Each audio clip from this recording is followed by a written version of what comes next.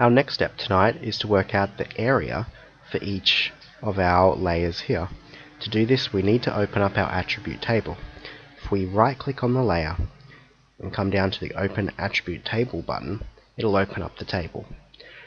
Our next step is we need to add a new field so that we can calculate our area. We come to our table options and select the add field button we can then add a field related to area. We make sure it is a double because this is more versatile and will give us the response we need. And there is our area field. We now need to do the same process for the 2001 table. And this time call it area 01 so we know that it is the area for the 2001. And we now have both of our tables. Now the next step to work out our area is we need to know the pixel size for each pixel in our layers. To do this, and we'll do this for the 91 layer, we right click on the layer, come down to properties, and we come to the source tab. And in the source tab it'll tell us the size of each pixel. And as we can see here, cell size, 104.8 meters by 104.8 meters. So this gives us the dimensions so we can work out the area of one cell.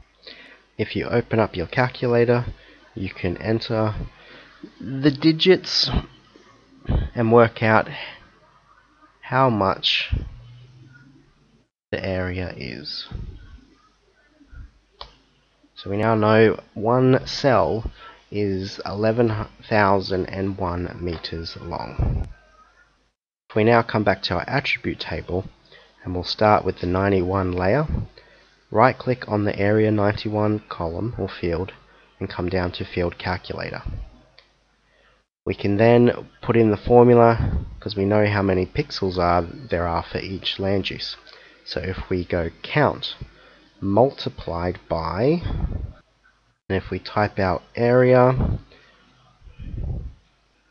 so 11, 1, 2, and if you refer to the handout and use that area, we are only going to one decimal place, and then we want to convert this to hectares, so we need to add a divide symbol and divide it by 10,000 because there is 10,000 square meters in one hectare. And then if we click OK, the area will automatically be calculated and we now have our area. And then we need to follow the same process again for the 2001 field. Count multiplied by 11.001.06 divided by 10,000